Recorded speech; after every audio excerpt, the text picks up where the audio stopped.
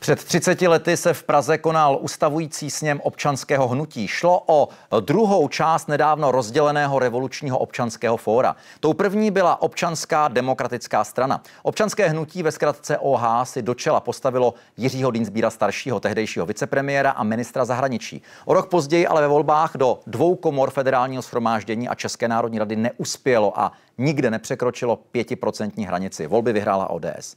Jedním z čelných představitelů hnutí byl i tehdejší republikový premiér Petr Pidhart. Pane docente Pidharte, přeji vám dobrý večer.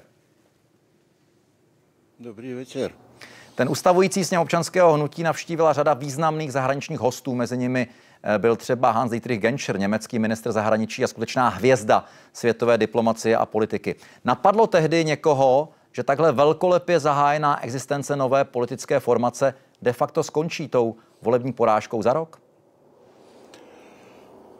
No, tam byla obrovská euforie, ale já jsem tajně, já jsem od přírody skeptik.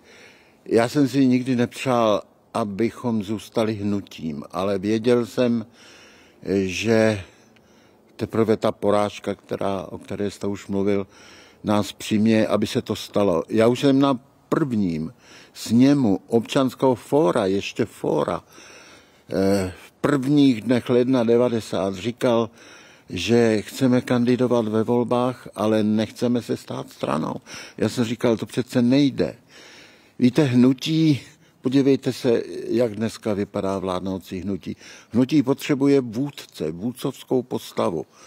To znamená někoho, kdo se neštítí demagogie, kdo si eh, v, to, v tom hnutí udělá pořádek, kázeň.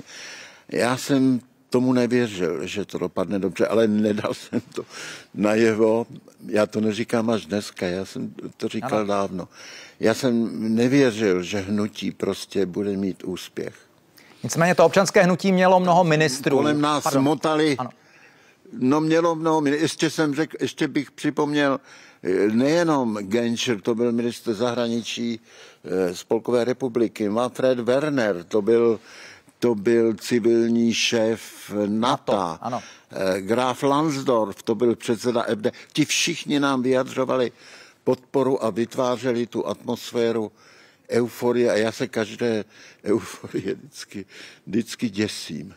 Já jsem chtěl o těch ministrech, o tom množství ministrů mluvit, protože vy jste v OH měli řadu ministrů, ať už ve federální vládě nebo v té vaší takzvaně republikové. Připomínám, že tehdy byly vlastně tři vlády, eh, Československá, Česká a Slovenská. Oproti tomu ODS byla zastoupena v těch vládách mnohem méně. Člověka napadá jednoduchá matematika. V OH neměli čas věnovat se politice, pracovali ve vládách, proto v politickém souboji prohráli. ODS naopak mohla vytvářet struktury a tak ty volby v roce 92 jasně ovládla. Je to příliš jednoduché, nebo by se to dalo takto vysvětlit? Je to útěšná interpretace. Něco na tom je samozřejmě. Navíc eh, ještě jste mohl připomenout, že my jsme měli jenom dvouletý mandát, což hmm. je absurdní. Vláda, která začíná transformovat celý systém ekonomický, politický, tak prostě vládne dva roky. Ano, my jsme byli vláda, která neměla jediný skandál. My jsme úspěšně privatizovali to, co privatizovali česká vláda, to všechno dodnes funguje. Nemusím to vypočítávat, stačí Škodovku, ale to ne, já se obávám, že to nebyl ten hlavní důvod. My jsme nejenom neuměli udělat kampaň, ale my jsme ji vlastně ani nějak dělat nechtěli. Nám se strašně nechtělo opakovat eh, několik hesel znovu a znovu. Nám se to zdálo mm. hloupé. Ano. No prostě jsme to dělali úplně špatně, takže jsme si tu porážku svým způsobem zasloužili. S občanským hnutím jako tou, řekněme, nestranickou částí bývalého OF byl hodně spojován i Václav Havel, tehdejší prezident. Proč se nikdy otevřeně nevyslovil, že občanské hnutí podporuje? Nevím, zda by to ve volbách pomohlo. A nebo nebyl vaším tehdejším voličem? Docela mě zajímá, jestli to víte. Ono je to ještě trochu vážnější. Václav Havel eh, nevěřil politickému stranictví. Když to eh, vyslovím celou tu větu, tak vlastně v tomto smyslu ani jaksi parlamentarismus mu nebyl blízký. On se, on se oddělil od občanského fóra, ještě fóra, v prosinci 89, takže se úplně vzdálil a, a trochu, trochu hodně se přestalo občanské fórum zajímat. On nikdy žádné straně nechtěl dát podporu. A vždycky říkal, já když vám ji dám, tak to je polibek smrti. A taky byl. Ne, on, on měl velká témata, samozřejmě Československo ve světě, občanská společnost, eh, etika v politice, to, je, to se mu samozřejmě neupírá, ale eh, stranictví, strany, on si myslel, že i na západě je politické stranictví překonáno. A to já jsem si nikdy nemyslel, v tom jsme se lišili. Ne, on nám skutečně žádnou podporu nedal a já jsem přesvědčen, že mnozí jsme ho o to žádali. Ale on chtěl být za každou cenu nadstranický prezident, eh, jako úplně za každou cenu.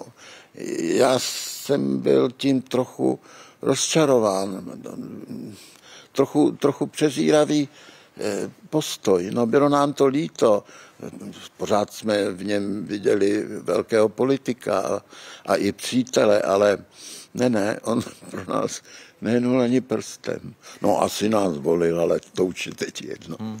No, 30 eh, ano. No ty volby tedy pro občanské hnutí dopadly špatně, protože do žádné z těch vlastně tří komor, tedy sněmovna lidu, sněmovna národů a Česká národní rada v uvozovkách tří komor parlamentu, byly to dva parlamenty, ale to není podstatné, eh, jste se tehdy nedostali. Ehm, pak občanské hnutí bylo přejmenováno na svobodné demokraty, pak byl nějaký pokus o spojení s no národními socialisty. stranou. Ano, pak se stalo stranou a tak dále, ale, ale vlastně už politicky nemělo, nemělo ten vliv, který mělo do těch voleb. Mě by zajímalo, zajímalo, řada z těch politiků ale později eh, se uplatnila v jiných stranách. Třeba pan Bursík eh, za Lidovce, pak za Zelené, eh, hodně lidí v dresu ČSSD, třeba pan Rychecký, vy konec konců u Lidovců a taky Miloš Zeman, který mm, možná se na to trošku zapomíná, také byl svého času v občanském hnutí.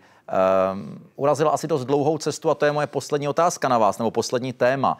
Uh, když si vzpomenete na to, třeba na diskuse, které jste měli, na to, že byl také v občanském hnutí, jak ho vnímáte dneska?